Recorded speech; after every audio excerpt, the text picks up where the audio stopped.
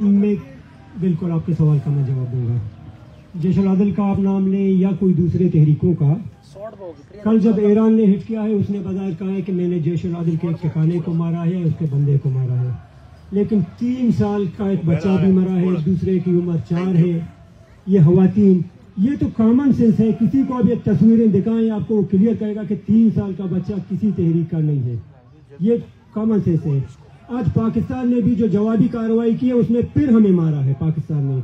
इसने जो मिसाइल फेंका है, उसमें फिर एक तीन माह का बच्चा है, दूसरा उससे बड़ा है, एक दो साल का है।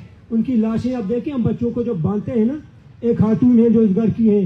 बजाहिर उस मर्द को अगर, वो मर्द तो हर वक्त घूमते रहते हैं ना, बाजारों में होता है, अगर आपको उन्हें पकड़ना है तो इनसे कोई यहाँ पे हम इंकारी नहीं है कि आप किसी को ना पकड़ें।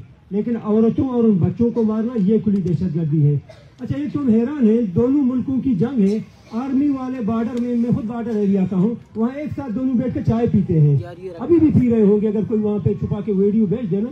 अभी भी वो एक दूसरे के साथ बैठ के चाय पी रहे हैं। ये उस तरफ़ मिसाइल फायर करके बलोच को मार दे वो इस तरफ़ फिर इनको मार दे। अच्छा इस्लामाबाद में आज मैं घूम रहा हूँ जहाँ दो लोगों को देखता हूँ वो नाच रहे हैं कि ईरान ने बदला ले लिया। बखुदा हम दिल में रो रहे हैं। खुदा की कसम। आज वो एक होटल के सामने बैठे हुए तो सारे वीडियो कॉल के ईरान को बदला दे दिया ईरान को बदला दे दिया। इतना गुस्सा आया है ना कि आप यकीन नहीं कर सकते हैं। ईरान ने किसको बदला दे दिया? आपने उनको मारा वहाँ भी बलोच मरे। यहाँ भी। हाँ अगर ये जंग इस्लामाबाद और तेहरान के दरमियान होती यहाँ एक दूसरे के ऊपर मिजाइल गिरते तो हम समझते हैं कि ये बिल्कुल दो मुल्कों की जंग है। लेकिन इस वक्त ये डायरेक्ट बलोचों को हिट कर रहे हैं। वो भी और ये भी। डॉक्टर साहब पाकिस्तान असल में मसला ये है कि आप के लोग जो है ना जंग से बहुत दूर है। ये जंग जो हम पर आगे की गई है बलूचिस्तान पर बलोच पर वो काफ़ी अरसे की जंग है, जिस पर हम बात कर रहे हैं, जिस पर हमने 56 डे से बात कर रहे हैं कि बलूचिस्तान में पाकिस्तान डायरेक्ट फौज खुशी कर रही है, बच्चों को मार रही है, और उन बच्चों के मारने पर जश्न मनाया जाता है, मुबारकबादियाँ दी जाती हैं। तो हम ये इस पर बात कर रहे हैं कि बच्चों को मारने पर आपने कौन सा तीर मार लिया? क्या आप बच्चों के मारने पर जो है ना जश्न मनाएँगे? क्या क्या ये वार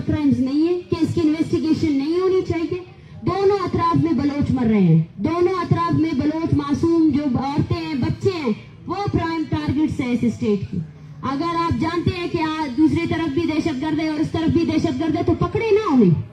औरतों और बच्चों पर क्यों आप लोग हमला करते हैं? हमने स्टार्ट से कहा है कि स्टेट जो है ना, अपने वायलेंस को सिक्योरिटी के जस्टिफाइबल करके मासूम लोगों को मार रहा है सिविलियंस को मार रहा है, औरतों को मार रहा है, बच्चों को मार रहा है। और वो लोग वो लोग जिन्होंने जंग के नाम पर सिर्फ़ सेलिब्रेशन की है उनको मैं कहती हूँ कि आज हम लोग खून के आँसू रो रहे हैं।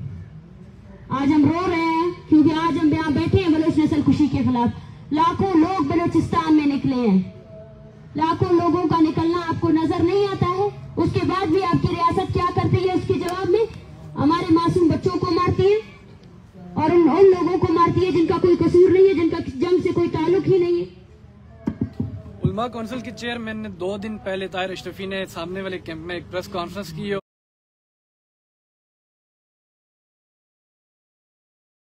कहा कि ये जो इस सामने वाले कैंप में लोग बैठे हैं 200 हफ़्ते या 200 साल यहाँ पर बैठे रहे मैंने वजी अजम पाकिस्तान अनबारुल काकड़ से बात की है कि इनके साथ किसी किस्म की रियायत बरतनी नहीं है, क्योंकि ये रियासत के खिलाफ प्रोपोगंडा कर रहे हैं। तो क्या समझती है पाकिस्तान के वजी अजम की म्यूचुअल कंसर्न से ऐसी प्रेस कॉन्फ्रेंस होती है तो आपको इंसाफ मिल पाएगा यहाँ, इस्लामाबाद में बैठकर? ये जिस मोटे बंदे का आप ज़िक्र कर रहे हैं, ये ड्रंक था एक इंटरव्यू के दौरान, आप इसको आलिम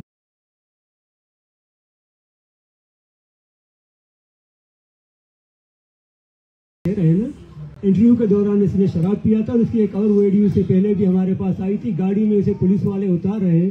शराब के नशे में इतना दुख है ये गाड़ियों के साथ कि इसे पुलिस वाले पकड़ रहे हैं और ये गिर रहा है नीचे। इतना शराब पिया हुआ था और बता भी रहा है कि कुछ ज़्यादा आज मैंने पिया है।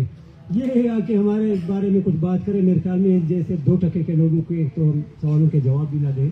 इनकी आप यहाँ बात भी ना करें इनकी औकात क्या है? उन्होंने कहा कि जमाल रईसानी कैंप का जो इशू है वो जेनवन है। मैंने वजी अजम से रिक्वेस्ट की है कि इस मसले को जल्द अज जल्द हाईलाइट करें हल करें। हमने अपना प्रेस कॉन्फ्रेंस किया था।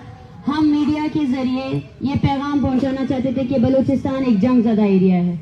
आप देखिए कि ये एक पुरमन तहरीक पीछे बैठे हुए औरतें बच्चे क्या मांग रहे हैं? इंसाफ मांग रहे हैं अपने बच्चों को मांग रहे हैं कि जाओ अपने इस्लामाबाद के हाईकोर्ट में इसको पेश करो।